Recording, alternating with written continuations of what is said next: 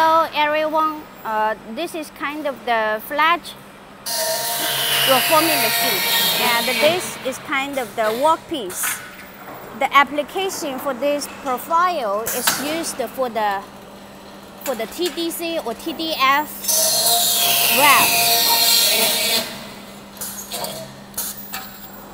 Duct system, this kind of the flat profile and it's applied for several flying tool. And now let's check how it's moved. This is the completely line from the decoiler to the forming machine. And this is the cabinet coupled with delta system. And this is the forming machine. Uh, this machine somehow is made for Morocco customer and this is the sensor. This line was built up with somehow economic solution. But in this line, we have combined about uh, 22 rolling stations to forming the shape. And this line was built up with cassette, which means we have two sides like this.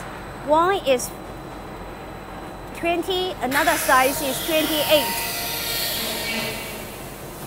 This is widely used for the flat system and its chain drivers.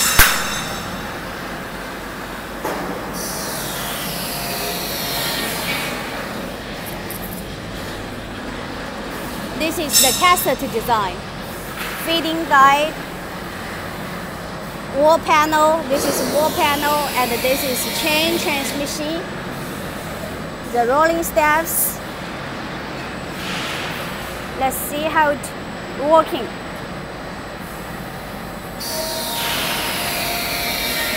To make those profile, it requires a lot of assistant roller. And let's check the motor power. The motor is 11 kW.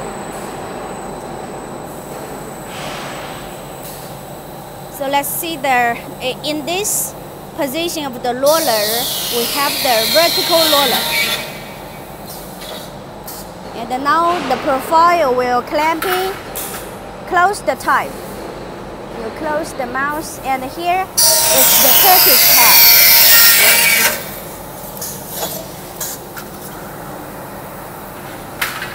And let's see how it moves along the workpiece.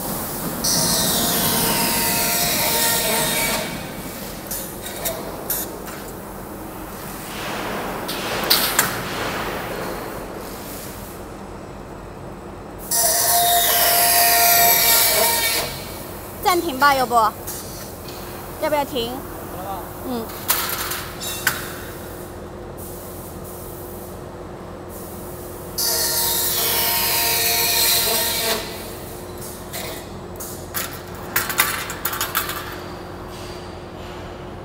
So this is the line working in the workshop for final testing. It's ready for loading and for dispatch. Get from the machine. We made the last test. See? Profile. And this is the completely machine.